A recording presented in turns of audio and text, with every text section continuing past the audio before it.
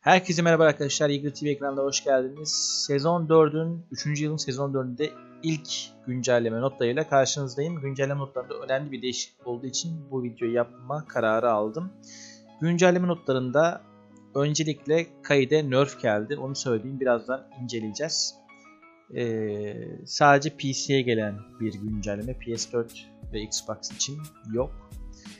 Ee, Rainbow'un 2019 yılında oyunun özellikle görüntü anlamında birçok güncelleme getireceğini biliyorduk. Bunlardan ilki, ilk değişim geldi.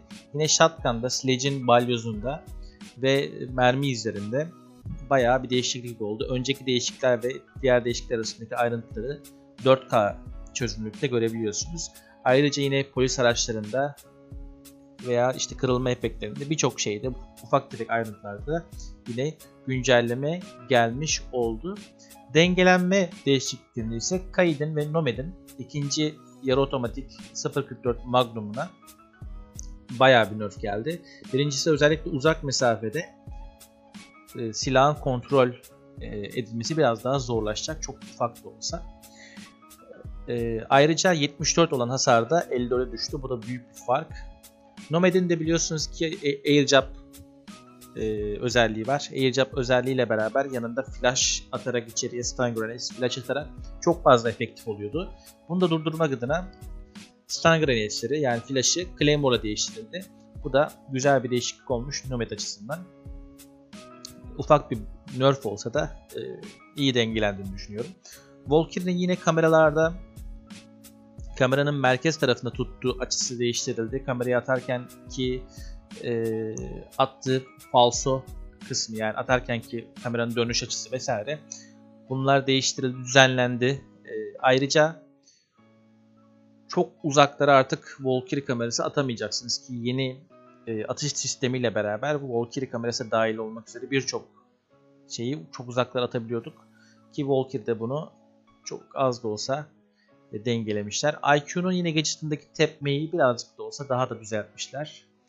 Ayrıca Operation Wind Bastion'ın gelmesiyle beraber çok fazla bug olmuştu oyunda.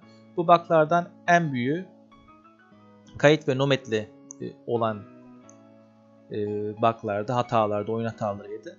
Bu oyun hatalarından sadece birkaçını söyleyeceğim. Bunları isterseniz yine Rainbow Six için Twitter hesabından ve Rainbow Six için Ubisoft .com adresinden siz ayrıca okuyabilirsiniz. Türkçe'ye de çevirebilirsiniz. Ben sadece belli başlı önemli olan şeylerden bahsedeceğim. Öncelikle X e, Xcarios'ların, Iban Xcarios'ların veya Termite'ın yine e, Reinforcer açan charge'ının bazen duvarları açarken ses yapmaması ile ilgili bir sorun vardı. Benim de başıma gelen bir şeydi. Bu, bu düzeltilmiş. Daha sonra kaydın yine kaydın kendi elektronunu e, kılavunu kullandığı zaman mira camının arkasında bazen sıkıştığı veya e, büyük alanlarda kaydı özelliğini kullanmaya çalıştığınızda oradan sektiğini veya efektif olmadığını görüyordunuz. Bunlar düzeltilmiş.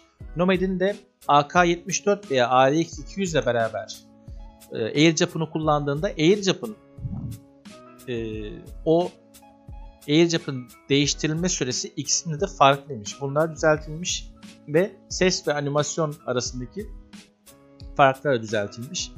Sledge de alt tap yaptıktan sonra e, SMG11 üzerinde holografik kullandığınızda bu holografik skobunun bazen kaybolduğu hakkında sıkıntılar varmış. Bunda düzeltildiğini söylüyorlar. Yine haritalar üzerinde bazı düzenlemeler olmuş. Özellikle Fortress'te birinci katta sitting room ve kafeteryada bazı düzeltilen yerleri görüyorsunuz. Yine bir e, güncelleme gelmiş buna. Bazı oyuncuların oyundan çıkmadan e, Renault kastında bu Renault'ların güncellenmediğini görüyorsunuz. Bu güncellemeler düzeltilmiş. Çakal Charm'ı ve Brezilya'da Pro Lig'de e, Cooper Charm'ının e, bazen görünmemesine sebep olan bir e, hata varmış. Bu düzeltilmiş. Yine kozmetiklerde de bazı düzeltilmeler olmuş. Genel olarak güncelleme böyle. Bu güncellemede en çok dikkatimizi çeken şu bölge oldu. Kayıt ve Nomad bizi ilgilendiren kısım. Ve yine visual update'ler, görüntü üzerine gelen update'ler bence hoş olmuş. Biraz daha gerçekçilik katmış diyebilirim.